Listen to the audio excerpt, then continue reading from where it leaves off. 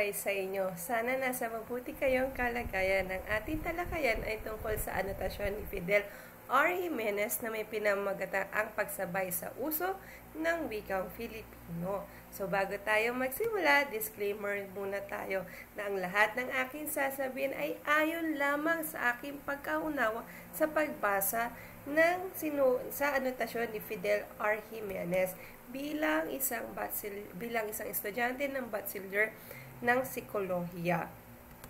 At lahat ng aking sanggunian ay matatagpuan sa, ng, sa description sa baba. So, tara, atin na nang simulan.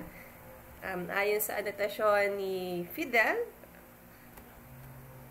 uh, ni Fidel Jimenez, na ang salita ay parang maaaring na ibabaon na sa limot, um, merong mga salitang hindi na nauunawaan ng karamihan, kagaya na lamang ng talapindutan, salumpuet, sipnayan, hindi na ito nauunawaan ng karamihan, lalo na ang mga kabataan.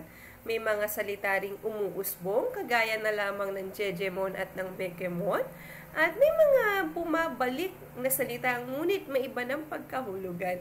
Parang crush mo lang. Parang hindi na kayo. Kasi katulad ng halimbawa ng salitang tayo o ng kayo, maaaring sabihin kayo o tayo bilang isang grupo, pero pwede na rin sabihin na kayo o tayo bilang isang may karelasyon. Yun. Sabi nga, na ang wikang Filipino ay parang isang gamit sa katawan na sumasabay din sa uso. Um, at kahit nagkakaroon ng pagbabago sa ating wika, patuloy nitong pinag-uugnay ang mga Pinoy kahit man kahit saan man at kahit anuman ang kanilang katayuan. Bakit? Sapagkat ang wika ay daluyan ng kaalaman at ng karunungan. Ito ay daluyan ng komunikasyon. Kaya kahit magbago man ito, um, patuloy itong huhubog at patuloy itong yayabong upang makipagpalitan ng, ng komunikasyon at ng kaalaman ang bawat Pinoy.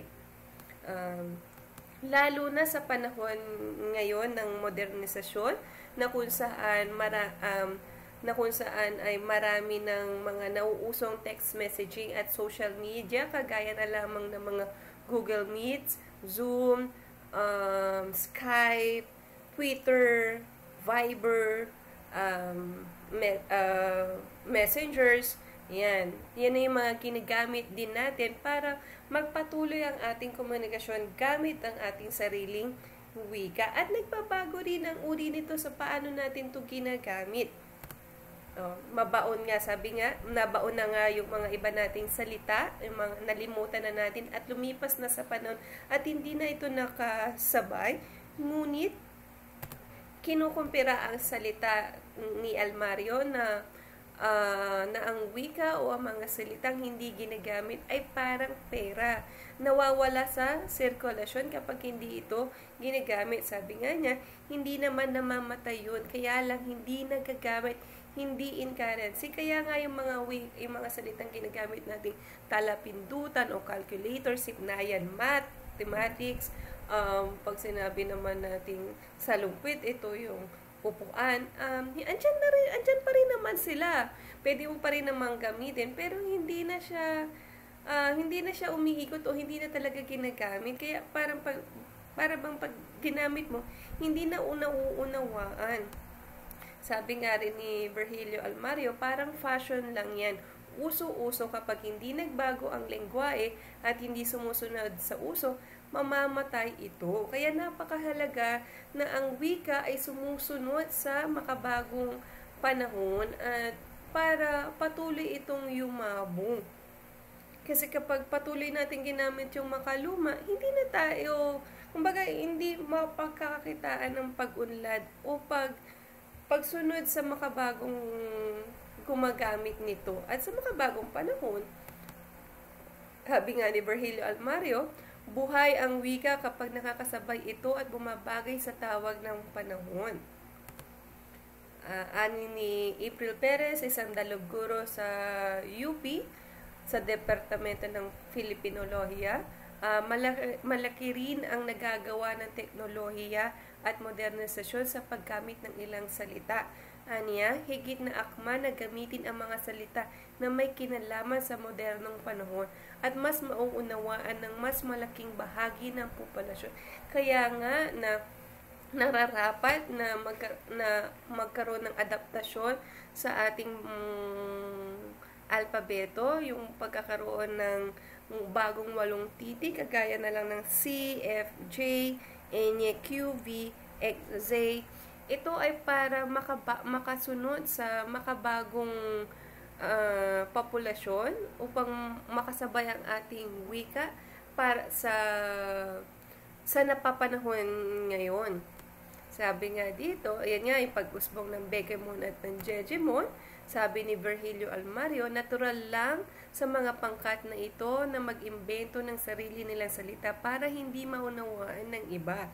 Hindi naman daw ito dapat ikabahala dahil kung tutuusin, maaari pa nga raw nakakatulong ang mga ganitong nauusong lingwahe sa pagpapayabong ng wika kapag lumaganap at natatanggap ng marami. Kaya nga sabi rin dito, para sa akin, napakahalaga na ang wikang Pilipino ay wikang panturo para uh, lumaganap ang pagtanggap ng mga salitang ginagamit sa pagtuturo. Kasi kung sa kung ang wikang panturo sa larang ng agham, ng matematika, at ng iba pang laram ay wikang Ingles, hindi magkakaroon ng paglaganap ng pagtanggap ng mga bokabularyo nito sapagkat hindi nasasanay sa paggamit nito. Kaya namamatay ang mga ang mga salitang ginagamit sa larang na ito. Sabi nga dito, magbago man ang bokabularyo ng mga Pinoy sa paglipas ng panahon, maluma man ang ilang salita dahil may bagong umusbong patunoy lamang ito na buhay na buhay at masigla ang ating wika. Iyan ang pagpapahalaga sa ating wika, kaya napag, kapag napagkakakitaan natin ng pagbabago ito, ibig sabihin na ang wika ay buhay at, tum- at patuloy na ito ay yumayabong. Sabi nga, higit sa lahat, ang mahalaga ay hindi nagbabago ang layunin nito sa ating mga Filipino. At iyan ay pagbuklo rin tayo bilang isang bansang malaya na may sariling wika sa lilim ng malukay at patuloy na yumayabong nating kasaysayan.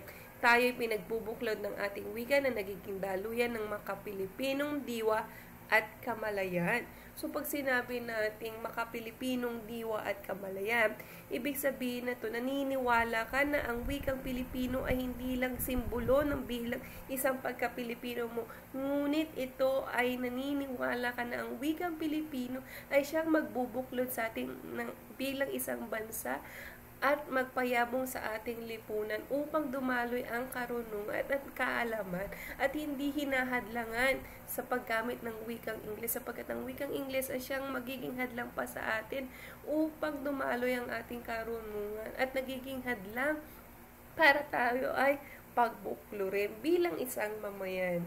Kaya napakahalaga na mapagkakitaan natin ang ating wikang Pilipino na sumasabay sa makabagong panahon.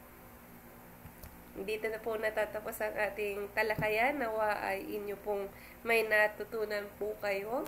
So, abangan ang mga sumusunod na talakayan para sa pagpapayabong ng kaalaman. Um, like, share, subscribe, and comment. Kung kayo ay may mga katanungan, huwag kayong mahiya kay Mommy Precious, mag-DM o mag-direct message o mag-email sa Manggera Precious manggeraprecious at gmail.com. Paalam!